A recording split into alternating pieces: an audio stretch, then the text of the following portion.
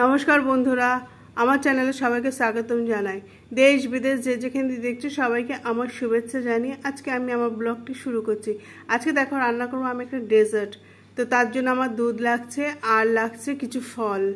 তো রান্না তো সবারই একটা আলাদা আলাদা স্টাইল থাকে, তা আমি আমার রেসিপিটা শেয়ার করছি। তো আমি দুধ গরম করতে বসিয়ে দিয়েছি, তার মধ্যে দিয়ে দিলাম চিনি আর সামান্য লবণ। তো এই ডেজার্টটা খেতে ভীষণ ভালো লাগে ফ্রুট কাস্টার্ড। তো তোমাদের সাথে শেয়ার করছি। তো প্লিজ বন্ধুরা, ভালো লাগলে একটা লাইক করে দিও আর যারা নতুন দেখছ, পারলে একটা সাবস্ক্রাইব করে দিও।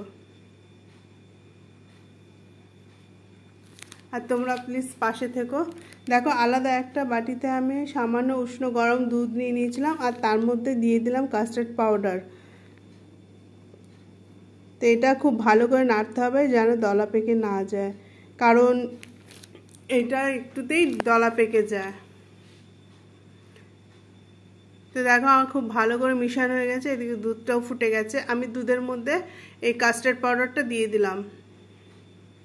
তো এবার খুব ভালো করে এটা মিশাতে হবে যাতে এটা দলা পেকে না যায় বা আলাদা জমে না যায়। তো দেখো হয়ে গেছে, আমি একটা আলাদা বাটিতে ওটা ঢেলে নিলাম। তারপরে এবার আমি ফ্রুটসগুলো দিয়ে দেবো। এর মধ্যে আছে অ্যাপেল, কলা। কলাটা অনেকক্ষণ ধরে কেটে রেখেছিলাম বলে একটু কালচে কালচে হয়ে গেছে।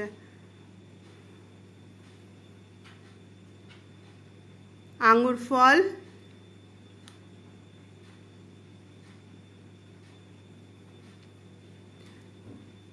কমলা লেবু। আর দিয়ে দিচ্ছি বেদানা। এর মধ্যে কাজু দেওয়া যায়, খেজুরও দেওয়া যায়। তো এবারটা আমি খুব ভালো করে মিশিয়ে নেব এবার।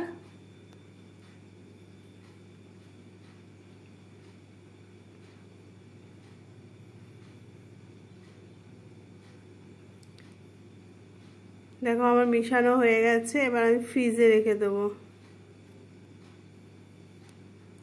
তো ফ্রিজ থেকে বার করার পরে এরকম হয়েছে। এই কাস্টার্ডটা একটু ঠান্ডা ঠান্ডায় খেতে ভালো লাগে।